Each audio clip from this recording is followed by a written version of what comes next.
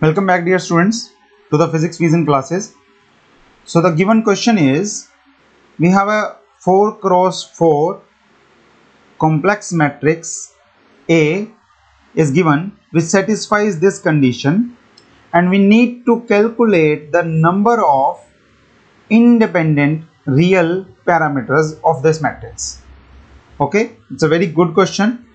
Let us solve this. Let's see first of all let's write out the given condition write down the given condition which is a dagger a is equal to 4i it implies if we divide a by 2 so it will give us the value as a by 2 dagger a by 2 is equal to an identity matrix.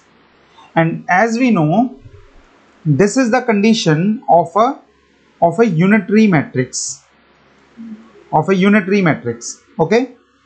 Hence we can say that whatever the number of independent parameters are there in a unitary matrix the same number of independent parameters will be there in a given matrix A right? So just we just need to calculate the number of independent parameters of a unitary matrix of 4 cross 4 dimensions. Right? How will we do it? Let us consider a unitary matrix. Let's say b a unitary matrix whose elements are matrix elements can be written as aij plus iota bij okay? And now in this we can see that n square elements can be chosen in A and n square element can be chosen for B. Hence 2n square independent or total parameters are there. In a unitary matrix we have total parameters equal to 2n squares.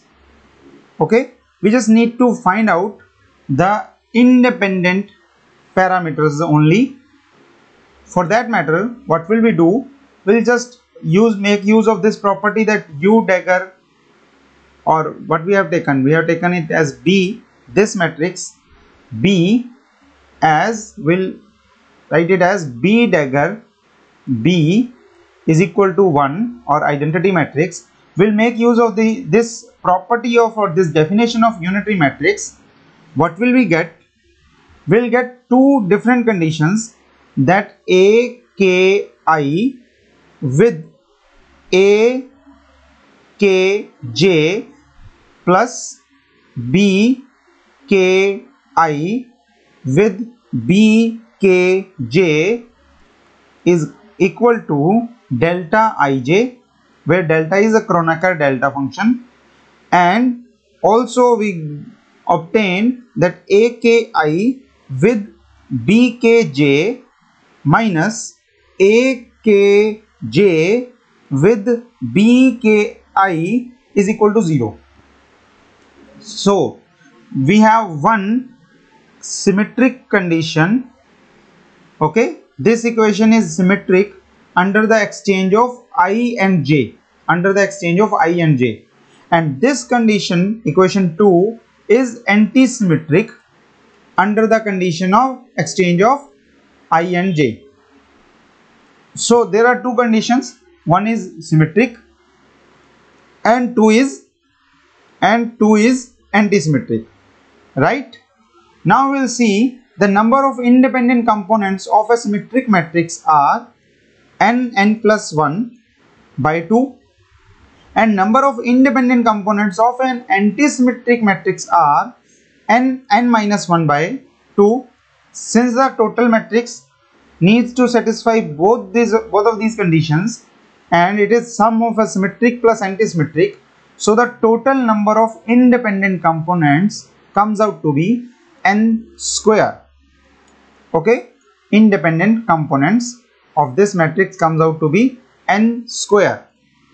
Therefore we can say that since n is equal to 4 we can say that 4 square gives you the correct answer. Hence we have option D which is 16 is the correct answer for the given matrix for the given questions. Okay?